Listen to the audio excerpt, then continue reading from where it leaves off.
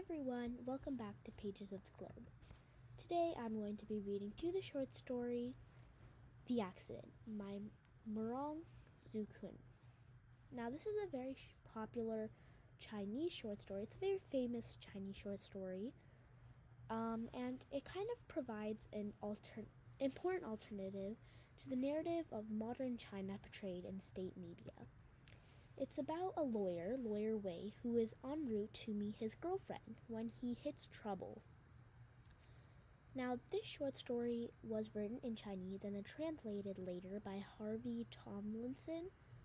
So, um, you'll often notice that there are like phrases that might not make sense to you, but if translated in Chinese would be would make much more sense. Now, um, I'm going to tell you a few facts about the author, Murong Xuecun. Now, that is the pen name of the Chinese writer Hao Kun, who um, was propelled into stardom by his first debut work um, called Leave Me Alone, a novel of Chengdu. In 2009, he wrote an expose of a pyramid scheme in, Jiang, in the Jiangxi province, which was a first hand account of Murong's personal experiences with the pyramid scheme network that lasted 23 days. Later, in 2010, he was awarded the People's Literature Prize, which is a highly coveted prize or award in the literature world. He also has a microblog account with over 1 million followers where he has multiple writing pieces and he shares many facts about himself and a little kind of exposes into his life. Now, in his accepting speech for the prize, Murong wrote a scathing commentary about his editor that he worked with for China in the absence of a remedy. He also launched into a critique about the state of censorship in China in general. The speech was then banned at the awards ceremony, but it made its rounds across the internet, and the draft of the speech was later translated into English and delivered to the Hong Kong Foreign Con- Correspondence Club in February 2011, followed by a publication by the New York Times in t- November 2011. In the draft, Murong alluded to a wide array of censorship restrictions, including limits on discussing current affairs, contemporary personalities, and being forced to change the phrase Chinese people to some people in his part of work.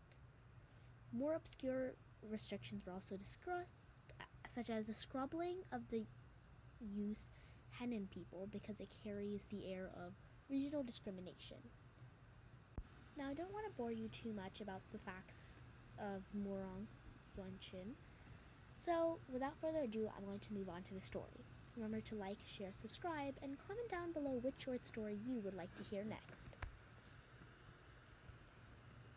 The Accident by Murong Xuecun. Out of the corner of my eye, I saw the motorbike clank over and skid a long way. The rider flew into the air, hitting the ground with a terrible thump and rolling over twice before coming to a halt. My mind went blank and I stopped the car. The rider lay on the road, not moving. Night was falling and a hubbub surrounding the scene of the accident. I stared blankly at the blood flowing out from beneath his helmet, a gorgeous bright red, like rosa roses in full May bloom. The guy was still flat on the road, motionless. I sat in my car thinking, Whatever you do, please don't be dead. Drinking after driving, making an illegal turn, if you are dead, then I might as well be too. After a bit, I got out of my car and slowly went up to him.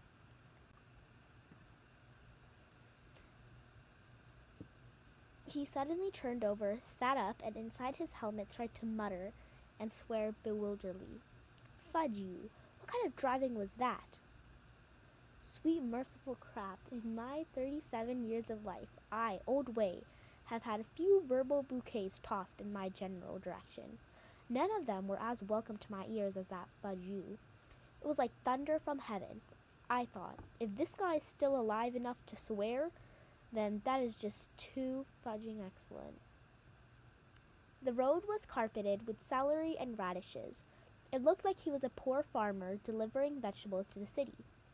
Feeling calmer, I tried to help him walk a couple steps. That went okay and he stood up straight. Things were looking good. The only problem was I could see that his mouth was still bloody. I decided to show I shouldn't show him any weaknesses. If I was nice to him, he might take advantage. I had no idea what he might ask for. He slowly removed his helmet, and then I bellowed at once, Show me your driver's license. No one who'd cause an accident would dare say this, and I wanted to club him into submission. He still looked confused. He rubbed the blood on his head, looking at his hand, and then shakily asked me, What are you doing? This guy was more than fifty years old. His oils his clothes were oily. He wore a pair of yellow rubber shoes and his clothes reeked of pesticide. He didn't look too clued up about his life. I glared fiercely. What business is that of yours? Driver's license. He groped about for ages, then grinned shyly. I, yeah, I forgot to bring it. That was an advantage to me, and I poked his chest. Exactly. No driver's license, riding on my tail, and you still dare to swear at me? His head dropped, and he tried to defend himself. You you didn't have your lights on, and how could I know? Just then, I noticed a few people slowly coming over. I figured that even rabbits had been known to bite people when they were nervous. So why don't I just bung him a bit of cash and be done with it? Best to avoid any fuss. I helped him stand up to his motorbike, and the old guy lowered his head, shakily advanced a few steps, and then suddenly collapsed to the ground again. This time he was out cold. I prodded him violently for ages, but he didn't come around. The crowd was growing, and a lengthy queue of cars had built up behind us. I could hear police sirens in the distance. I didn't like the look of this, and quickly rang Hu Hochschung. He was a very businesslike and asked me a few questions about where the incident had taken place and the general situation, and then promised to find help. I just then hung up when the cops arrived, and one of them asked me for my documents. I said in a small voice, I am friends with your commissar. He stared at me. Don't talk rubbish, get your documents out. The old farmer was slowly coming around and breathing heavily. He said, You weren't. I was getting more and more worried, but then I heard the cop's radio crackle into life. If this was Hugh Koxing, he was really on his game. The cop listened for a while, then gave me a hard look before walking away from the crowd to continue the conversation. He came back less than two minutes later with a totally different attitude. He said nothing to me. Instead, he addressed himself directly to the farmer. You were on his tail? ID card, driver's license, passport. The old guy's face turned pale. It was smeared with blood.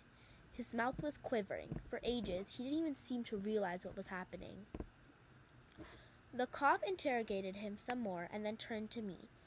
Lawyer, wait, let's get him to the hospital first. He's hurt pretty bad. I groaned. What luck. But I never thought that the old guy would turn out to be incredibly stupid. He stood up, quite suddenly, and leaned shakily on his motorbike. Then he took his vegetable basket and started to scoop up the greens from the road, dripping blood on the leaves. The cop and I exchanged amused glances. The cop said to him, There's nothing wrong? The old vegetable grower rubbed his chest. Hurts. The other weedier cop stepped forward and asked him whether he was willing to settle this and went on.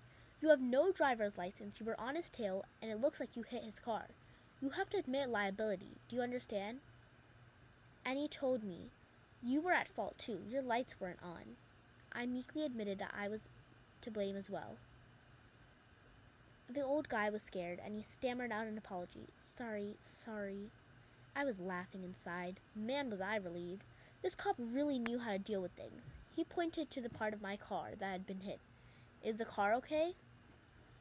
I said, It's hard to say before it goes to the repair shop, but the trimmings and the paintwork will need to be done, and that's at least three or four thousand. The old vegetable farmer's eyes widened and visibly seized with terror. He produced a pile of wrinkled notes two kwai, one kwai, and lots of mao. The whole lot couldn't have added up to more than a hundred yuan. He was so distraught that tears were flowing. I only have this much, otherwise, you can take the motorbike. The old motorbike is only good for scrap, I said. Why would I want it? The cop had a few words with him in a low voice. The guy shook violently and then opened up his jacket and reluctantly produced a square plastic bag.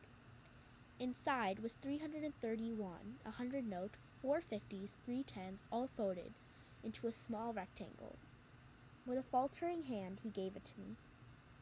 His face was running with tears.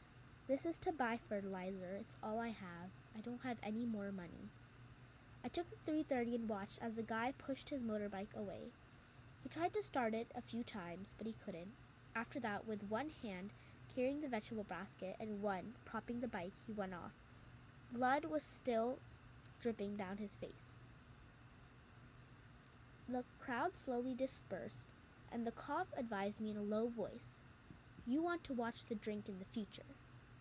Got it, got it, I said. I owe you dinner. He didn't reply. He just blew his whistle and left. I got back in the car and was driving around the next bend when I saw the old farmer stopped by a small tree. His face was as pale as rice paper, and his hand was pressed up against his stomach as he coughed and coughed. We exchanged glances, and then I looked away as if nothing had happened. The transport corps will have to deal with this, I thought. Why should I go looking for trouble by doing anything for this guy? I stepped on the gas and continued on to Fengshan town, thinking that my girlfriend Zhao Li must be worried about me by now. The end. Now, whenever I read this story, it always makes me really mad because the poor guy, the old man, was obviously not in the fault, right? Because this guy was drunk driving, he made an illegal turn, and he hit the motorcycle, and the motorcycle dude is the one that got the most hurt. However, just because he had more money and more power, he was able to not only get away with it, but actually take this entire man's his entire life savings for something that he could definitely pay for himself. Now, the author has always been someone who's for social justice, and he basically is trying to show how corrupted China, or not just China, but politicians in general are by showing how anyone with a little power can automatically become better than the most people, even when it doesn't make sense and it's not ethically or morally correct. I hope you enjoyed the story and remember to like, share, subscribe, and comment down below which short story you would like to hear next.